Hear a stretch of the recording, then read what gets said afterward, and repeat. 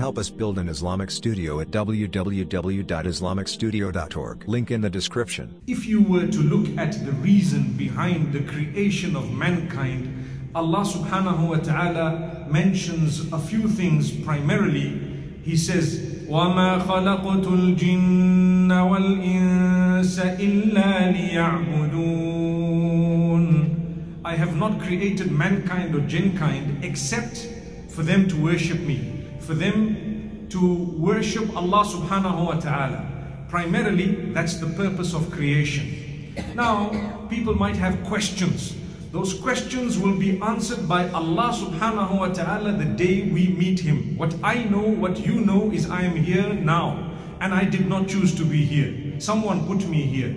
None of us chose to be here. Someone put us here. We will also not choose to die. He will take us back when the examination is over because one of the other purposes is to be able to worship Allah through the tests that He puts us through in our lives. This is why nobody's life ever has been free of tests. You need to think about what I just said.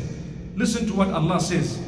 أحسب الناس أن يتركوا أن يقولوا آمنا وهم لا يفتنون Does mankind think that it's sufficient for him to just say that you know we're believers or for mankind to say we're believers and then it's okay? I say I'm a believer and I'm not going to be tested. Allah says, does man think we're not going to test him? We will definitely test him just like we tested those before him in order to distinguish who has passed the test, who was truthful and who was not truthful. You say you believe, okay, we're going to give you things. Do you still believe? Has it humbled you? Has it brought you closer to us? If it has, Alhamdulillah, good for you. Nothing was decreased from the kingdom of Allah. In one hadith, the Prophet ﷺ says, if everybody had to ask Allah whatever they wanted from the beginning of mankind to the end of mankind, and Allah was to give every single person every single thing they asked for, it would not displace from the kingdom of Allah except that which a pin displaces when it's thrown into the ocean. That's Allah. So what did Allah lose? Nothing. What did Allah gain? Nothing. It's you and I who, who are gaining or losing. Similarly, you need to know another thing. Allah subhanahu wa ta'ala says, وَلَنَبْلُوَنَّكُمْ We will definitely test you. If you look at the wording of that verse in Surah Al-Baqarah, Allah says, we will definitely indeed very, very confirmed and stressed. When I say stressed, I mean Allah has actually said it in a very strong way. he has given it great significance. He says, We will definitely test you with what? Number one test fear. Al khawf. What type of fear? Not necessarily one type of fear, all types of fear. You're worried about your health, you're worried about your food, you're worried about your drink, you're worried about your safety, you're worried about security, you're worried about the enemy, you're worried about animals, you're worried about electricity, you're worried about water, you're worried about EcoCash, you're worried about everything else. Allah says, we will test you. It's a worry, it's a concern. It's definitely a worry. In this country, we're going through difficulty, but I want to let you know, it's not the only country.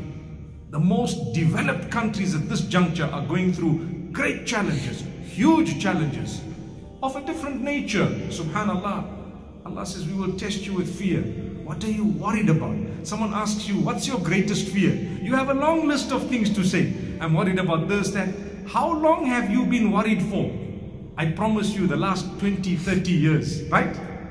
Who carried you along? Allah. He carried you along. I promise you, you are in a better condition. You are you know, you are in a better condition today than you were in the past and we're still worried. Subhanallah. When we, when we had nothing, we were worried. Now we've got something, we're more worried. Why is it? Because the reliance is now on what we have, no longer on Allah. That's where the problem is. You see what we're saying? Rely on Allah. Allah says, don't worry. You don't have the, the morsel, the next morsel, we will give it to you. But that test of Allah is supposed to be bringing you closer to Allah. He tells you in Surah Al-Baqarah, he didn't even say it later on in the Quran, right at the beginning, Surah Al-Baqarah, he's saying we're going to test all of you, every one of you with what? بشيء من الخوف with a little bit of fear. You'll be scared sometimes. I explained to you all sorts of different types of fear. والجوع and hunger. you can understand that on your own hunger. Sometimes you will be hungry. Sometimes there may not be food. Sometimes there will be famine. Sometimes there might be money and no food. And sometimes there will be food and no money. And sometimes there will be neither food nor money. That's Allah. Subhanallah. Al-ju' wal-khawf. al-khawf wal-ju' wa naqsin min al-amwal. You will suffer loss. When you suffer loss, do you say Alhamdulillah? La ilaha illallah. Allah says you will suffer loss of wealth. Naqsin minal amwal. Your money, boom, suddenly one day someone stole it. There was a fire, there was a robbery, there was an earthquake, there was... What's all this about? Allah says, that's the whole reason why we sent you onto the earth. Man, don't be fooled. You know, people say you came onto the earth, just enjoy. And when you have a lot of money and a nice house and everything is smooth, it means Allah is happy with you. Not at all. No ways. Allah says we need to test you. Look at your school. Your school to start with. How many of us are educated here? We'll put up our hands, all of us. Even the little ones would say we go to school. What's school all about? Exams, tests. Do they become easier or more difficult? They become much more difficult as you become closer and closer, higher and higher to the, you know, to the end. Much more difficult. You're writing O level. You can't take a kid and put them right up there because you know that's going to be a difficult exam. But when you go through it, what do you say? You come out of the paper and you say, Alhamdulillah, it was easy. MashaAllah. Thank Allah, it could have been worse. So Allah says, we sent you to test you. Nobody can deny that. Nobody. People say, how could Allah send us here to test us? I tell you, I'm not here by my own will. I'm here by the will of Allah. I'm not your brother because I chose to be that. Allah chose it for me. I'm not in your community and meeting you here today because, because I wanted it. No, Allah wanted it primarily. Then perhaps He gave me the ability to a certain extent. So there is going to be a challenge as you grow older Once or twice a year you get ill, you have a cough, you have a headache, you have, you know, something wrong with yourself, an allergy, whatever, whatever. It's part of the test of Allah. It proves to you that what Allah is saying is right. وَنَقْسِم مِّنَ الْأَمْوَالِ وَالْأَنفُسِ Allah says, we will take away the life. The life of what? Of who? People around you, whom you love perhaps. People around you whom you see and witness. Family, community, whoever else. However we want to take it, we will take it. People say, why are innocent children dying? The one who gave them the life loves them more than the people who gave birth to them. Remember that. The one who gave them the life loves them more than the, those who gave birth to them. People say the mother's love is the highest. Actually, Allah's love is higher than that. So why did they suffer? That's a question. I tell you, go back to the, to the reason of creation. You will know it's part of the test. Allah is testing you who remain behind. Do you understand Allah's plan? They might be the means of your entry into Jannah. If Allah knows that there is a little child who's going to grow up to suffer beyond a certain degree, Allah may take them away earlier. If Allah knows that there is a child who's going to grow up and make someone else's life a misery, perhaps the parent's life a misery, Allah might take them away earlier in a car crash where they may not have died in a way I would have liked or you would have liked, but they died in a way Allah wanted. And if you bear the patience, you pass your test, you walk out of there, you might be sad, but you Allah will give you Jannah because you were patient. And had they remained and had they been given life, perhaps you would have said, Oh Allah, look at my son, he's hassling me, he's troubling me, help me, I'm really depressed. Subhanallah. Allah says, We will always do you a favor, you don't know the future, we know the future. The knowledge of Allah is so powerful. يَعْلَمُ مَا كَانَ وَمَا يَكُونُ وَمَا لَمْ يَكُنْ إِذَا كَانَ كَيْفَ يَكُونُ Allah knows that which was, that which will be. You know, the past, the present and future. Those three Allah knows. But there is a fourth category of knowledge that is the most supreme, that is only for Allah. You know what it is? Try to understand what I'm saying. Allah knows what will not happen in the future if it were to happen, how it would have happened. Subhanallah. Say you don't have a child. Allah knows that if you had one and you're not going to have one, what would have happened had you had one? He will show you that one day if you want to see it perhaps. That look, we didn't give you because of X, Y, and Z. Not only that, Even if it's a business deal, sometimes there is a million dollar deal and it's so close to you and it didn't come to you. Sometimes you want to get married to someone so desperately and you think everything is smooth and this person is blocking. No, no, no, no. Allah knows that which is not going to happen. If it did happen, how it would have happened. That's what Allah knows. We read Surah Al-Kahf every Friday, a lot of us. I promise you in that surah, there is something very powerful regarding the meeting of Musa alayhi salam and Al-Khidr. When Al-Khidr decided to kill the little boy, Later on, there was an explanation to say, had he been given life, he would have been so disobedient to his parents. Allah said, take that life away. Don't worry. We will replace him with a better child. Subhanallah. The child never ever grew up. So Allah knew this child is not going to grow up. But if the child had grown up, which didn't ever happen, was never going to happen, Allah says, we know what would have happened. Allahu Akbar. It's a little bit too deep. You need to think about what I'm saying. this is why ajaballi amril mu'min. The affairs of a believer are amazing. The reason why I'm repeating this type of topic is because we're going through a lot of hopelessness on earth. People don't realize, why am I not coming right? Well, nobody is coming right actually. So what is coming right? If you could read Salah that day, you have come right.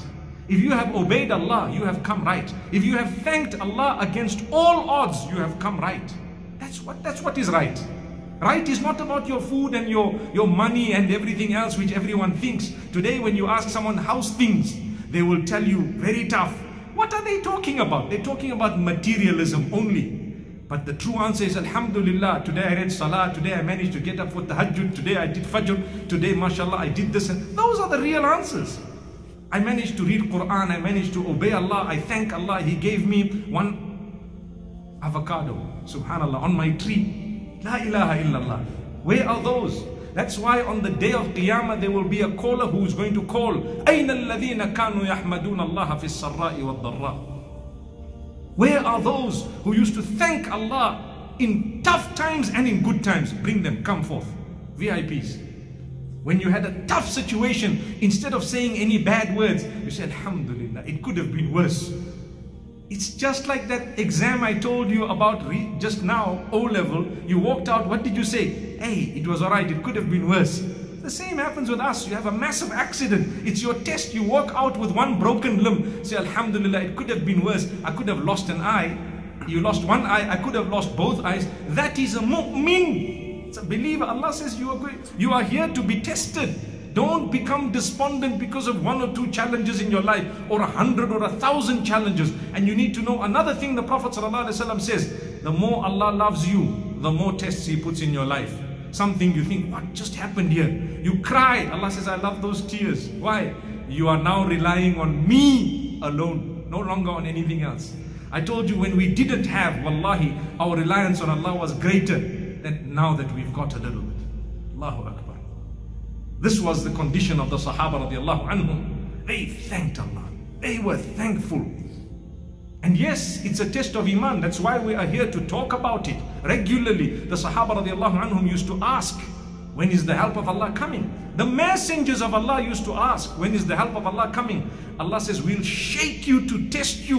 What is your limit? Then we will take you across to Jannah. My beloved brothers and sisters, don't lose hope when you go through some sort of difficulties, trials, and tribulations in this dunya. Allah subhanahu wa ta'ala will test everyone. And Allah says, Inna ma'al usri yusra. With hardship comes ease. So if you want to become someone successful, if you want to achieve something in this dunya, you need to work hard. You need to have some hardship. You need to struggle sometimes. And time after time Allah subhanahu wa ta'ala will test you so that Allah will make you stronger by these tests, by these lessons, by these struggles. And Allah tests those people whom He loves. So when you are going through some sort of struggle, some sort of trials and tribulations, don't think that Allah is punishing you. The problem or the trial that is bringing you closer to Allah subhanahu wa ta'ala is not a punishment. It's rather a reward because with that you are strengthening your bond with Allah subhanahu wa ta'ala. You are praying to Allah, you are praying tahajjud, you are praying your five daily salah on time, you are reciting the Quran, you are giving charity, and you are becoming a better person. So these tests and trials are making you better. So never become depressed or never lose hope when you are going through some not permanent, these are primary, temporary trials and tribulations. And Allah subhanahu wa ta'ala will remove it from you sooner than later. So don't be worried, don't be sad, don't lose hope. And Allah subhanahu wa ta'ala will shower mercy and blessings on you. Allah will make things easier for you. Allah subhanahu wa ta'ala will open the doors of opportunities for you. Continuously make dua to Allah and work hard to solve the problems that you are going through according to your own means and Allah subhanahu wa ta'ala will do the rest for you. May Allah forgive our shortcomings. May Allah give us the understanding of this deen. May Allah make things easy for us. May Allah give solutions to all the problems that people are going through. And may Allah grant us Jannatul Firdaus al-A'la. Help us build an Islamic studio at www.islamicstudio.org. Link in the description.